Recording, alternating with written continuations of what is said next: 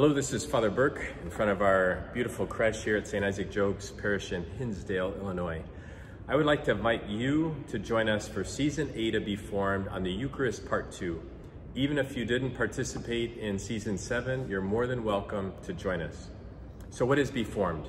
Our motto is we want to meet you where you're at and help you take one step closer to Christ.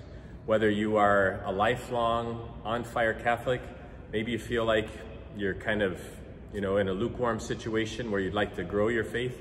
Maybe you're not Catholic but want to learn more about the Catholic faith. There's something in this for everyone. You can be from the Diocese of Joliet or beyond. Uh, you can meet groups uh, in person or virtually. This, we try to make this as flexible as we can to help you grow in your faith. Again, the topic for season eight is on the Eucharist, part two.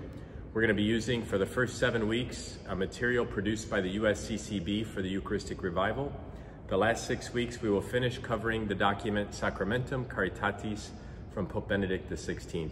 Again, it builds on the last season, but even if you didn't participate, you will, you will get something out of, of season eight. There are monthly large group sessions that everyone in Be Formed is invited to. There's weekly small groups that you sign up for. When you register, you choose, uh, you know, your group and when they meet. Again, it could be a men's group, a women's group, or a combined men and women's group. You have a prayer partner within your small group where you encourage and pray for one another on the journey toward holiness. And as an individual, you're encouraged to, um, again, take one step closer to Christ through prayer, uh, in the human, spiritual, intellectual, and pastoral uh, pillars. You can watch the weekly videos that are produced at your leisure and then discuss them with your small group.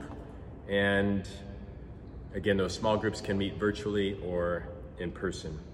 Why should you join Be Formed? What we keep hearing from participants are mainly the two things.